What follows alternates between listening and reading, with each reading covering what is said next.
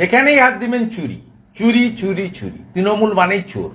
আপনি যেখানেই হাত দিবেন, ভিলেজ পুলিশ, সিভিক ভলেন্টিয়ার প্রাণীমিত্রা আশাকর্মী, যেখানেই হাত দিবেন, চুরি, নয় মার্কশিট জাল, নয় ডেট অফ বার্থ জাল, নয় এসসি সার্টিফিকেট জাল, নয় এসটি সার্টিফিকেট জাল, এই উলবেড়িয়া পুরসভায় যদি যান, আপনি দেখবেন কারোর ডেট অফ বার্থ ঠিক নেই।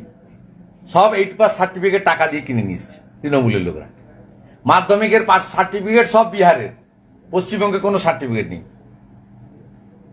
আপনি যদি এসসি রিজার্ভেশনে দেখেন এসসি নয় শিডিউল কাস্ট নয় সার্টিফিকেট করে এরা এসসি এসটি নয় সার্টিফিকেট করে এসসি আমার কাছে এই লিস্ট আছে, কলকাতা পুলিশের নিয়োগে।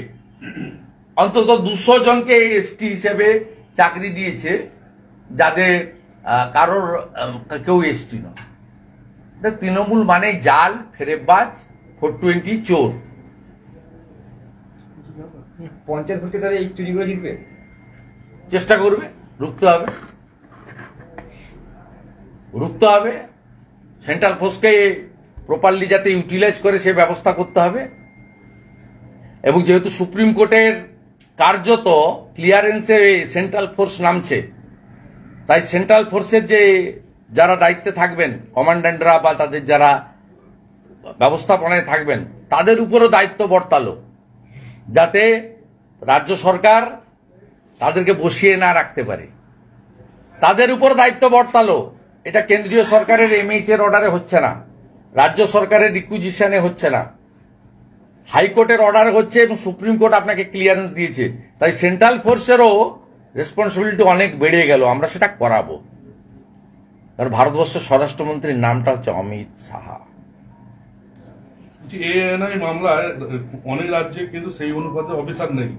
কি অবস্থায় রয়েছে এএনআই রাজ্যের চক্র কি এ এএনআই মামলায় রাজ্যের এ এটা কি?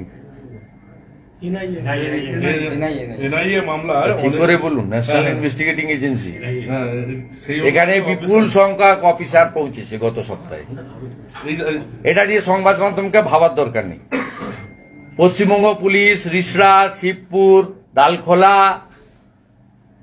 পূর্ব মেদিনীপুরের ভূপতিনগর, এনআইএ দাড়ি ভিট, এনআইএ কে এফআইআর এর কপি, কাগজপত্র দেয়নি বলে এনআইএ দুদিন আগেই কলকাতা হাইকোর্টে গেছে।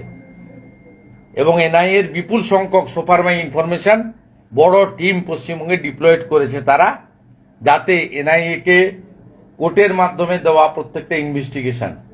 ঠিকঠাক করে হতে পারে এবং মমিনপুর ইকবালপুরের মতো যাতে গুন্ডারা, দেশবিরোধী শক্তি, তারা শিক্ষা পায়, তার ব্যবস্থা নেওয়া যায়। ঠিক আছে থ্যাংক ইউ এদেরকে